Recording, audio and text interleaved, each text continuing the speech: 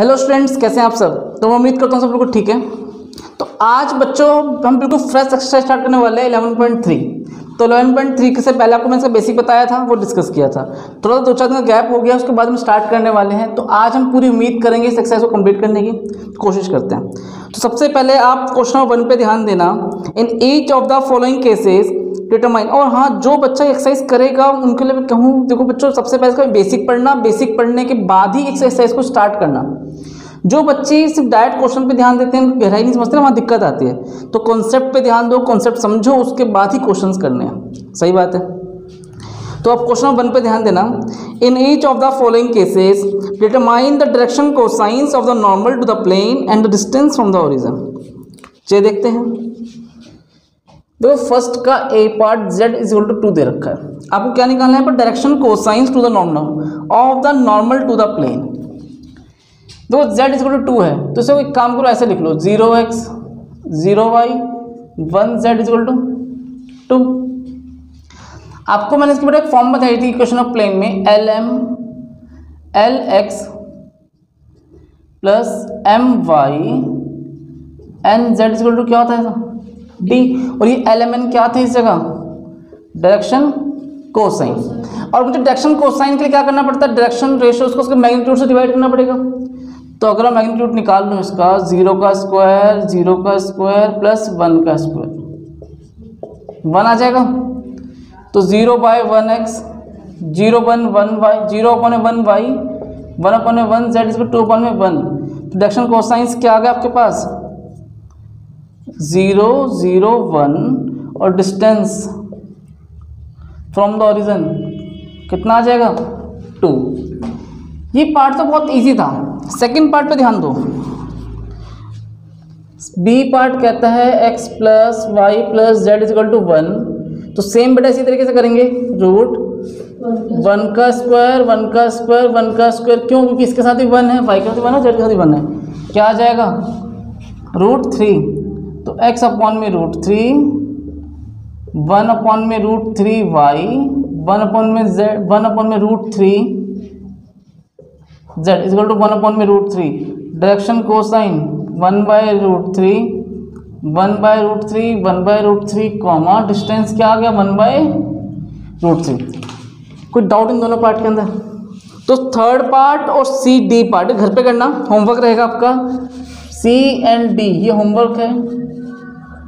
तो जिस बच्चों को समझ में नहीं आता, जो वीडियो देखते हैं, वो बच्चे कमेंट कर सकते हैं, पूछ सकते हैं। आपको मैं हर क्वेश्चन बार बार बताऊँगा। क्योंकि देखो, मैं हमेशा कहता हूँ कि चैनल सिर्फ़ मेरा नहीं है, बच्चों आप लोगों का है। ये मैं जो वीडियो बनाता हूँ, जो क्वेश्चन करवाता हूँ, सिर्फ़ बच्चों आप लोगों के लिए करवाता हूँ, ताकि आप बच्चों समझ में आना चाहिए। उसको समझ में नहीं आ रहा है, कोई डाउट है, आप कोई क्वेश्चन पूछना चाहते हैं, आप कमेंट करें, मैं आपको दोबारा बताऊँगा। तो ये होमवर्क है, और होमवर्क में कमेंट करना है, नहीं आया, पूछना है, अगर आ गया तो वो जवाब देना है। क्वेश्चन नंबर सेकेंड दो find the vector equation of the plane which is इक्व distance of seven units from the origin ठीक है? And to normal to the vector three I cap plus five J cap minus six K cap question क्या गहराई समझना हर question को हम feel करेंगे एक diagram के अकॉर्डिंग अगर आपको फील करना आ गया, समझ में गहराई आ गई तो कभी दिक्कत नहीं आएगी। कह रहा है, भैया, यहाँ पर प्लेन का जो डिस्टेंस है find the vector equation of plane which is equidistant which is distance 7 unit from the origin origin से 7 यूनिट है पर डिस्टेंस ठीक है और नॉर्मल टू द वेक्टर क्या गिवन है एन वेक्टर क्या गिवन है एन वेक्टर गिवन है three I cap five J cap six K cap ठीक है इक्वेशन ऑफ़ प्लेन देखो इक्वेशन ऑफ़ प्लेन आपको मैंने क्या लिखवाया था? R vector dot N cap is equal to D check कर लो। और जो एन कैप था एक यूनिट वेक्टर होता है। और यूनिट वेक्टर का मैग्नीट्यूड क्या होता है? वन क्या होता है बेटा? वन उसे क्या बोलेंगे? यूनिट वेक्टर बोलेंगे। ठीक है? समझना। तो R vector dot N cap is equal D और मुझे डी क्या गिवन इस क्वेश्चन के अंदर? सेवन यूनिट तो आर वेक्टर सबसे पहले मुझे निकालना पड़ेगा N cap N vector upon में एन का magnitude three I cap five J cap minus six K cap upon में थ्री का स्क्वायर फाइव का स्क्वायर माइनस सिक्स का square three I five J minus six K cap three का square nine five का square twenty five twenty five plus nine thirty four thirty four plus six minus six का six thirty six thirty four plus thirty six forty plus thirty seventy तो आपके पास finally क्या answer आ गया? R vector dot N cap three I cap five J cap six K cap upon में root seventy is equal to seven unit अब देखो आपके मन में क्वेश्चन आएगा कि सर आपको कैसे पता चला कि जो ये एन वेक्टर दे रखा है कि एन एन यूनिट वेक्टर दे रखा है? कॉमन सी बात है। जानना तो पड़ेगा कि भैया जो ये दे रखा था three I cap plus seven five J cap minus six K cap वो यूनिट वेक्टर है या नहीं है? एक बार बताओ, इसका मैग्नीट्यूड करो। तो क्या है मैग्नीट्यूड रूट सेवेंटी तो it is not a unit vector हमें इसका यूनिट वेक्टर निकालना पड़ा। वो एक सिंपल एन वेक्टर दे रखा था। याद रहेगा क्या दे रखा है? नॉर्मल वेक्टर दे रखा है। तो अभी हम जज करते हैं कि भैया वो क्या है, क्या नहीं है। जब तक वो गहराई नहीं समझ में आएगी, वो दिक्कत रहेगी। तो मैं बार बार कहता हूँ कि फॉर्मूला क्या है? R vector dot N cap और एन कैप मतलब यूनिट वैक्टर है। उन वेक्टर निकालने के लिए क्या करना पड़ता है? एन वैक्टर अपॉन एन का मैग्नीट्यूड कोई डाउट इसे नोट करो। Question number three find the find हाँ वो क्वेश्चन कंप्लीट बेटा। Find the Cartesian equation of the following planes आपके पास वेक्टर इक्वेशन गिवन है और क्या निकालने कह रहा है? कार्टेशियन इक्वेशन की बात कर रहा है, ठीक है। आपको मैंने जब बेसिक बताया था, फिर आपने बताया था ना वेक्टर सेम कैसे जाते हैं? कार्टेशियन जाते हैं। तो फील करना है इस क्वेश्चन को वेक्टर सेम कार्टेशियन तक मूव करेंगे। तीसरे का फ़र्स्ट पार्ट आपके पास एक वेक्टर फॉर्म गिवन है R vector dot I cap plus J cap minus K cap is equal to two. देखो, आर वेक्टर की जगह क्या लिख सकते हैं? चेक करो।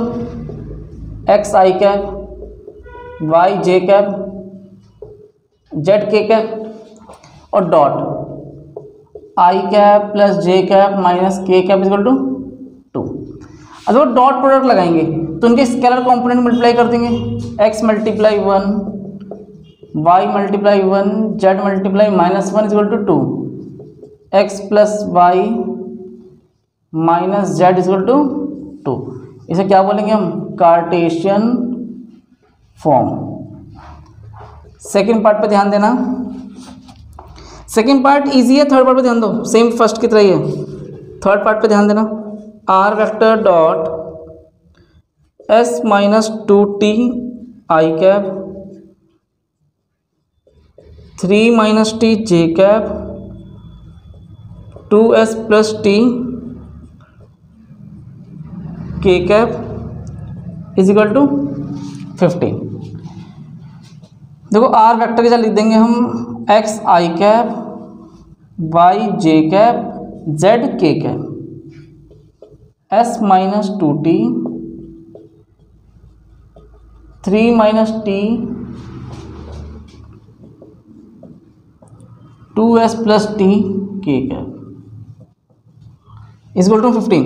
अब देखो scalar component S X multiply S minus two T Y multiply three minus T Z multiply two S plus T equal to fifteen यहीं छोड़ देंगे, इसे क्या बोलेंगे? कार्टेशियन फॉर्म कोई डाउट किसी के मन में? क्वेश्चन नंबर फोर्थ बहुत very very important question question fourth पर लिख लो। अभी हम डिस्कस करेंगे, पहले से नोट करो।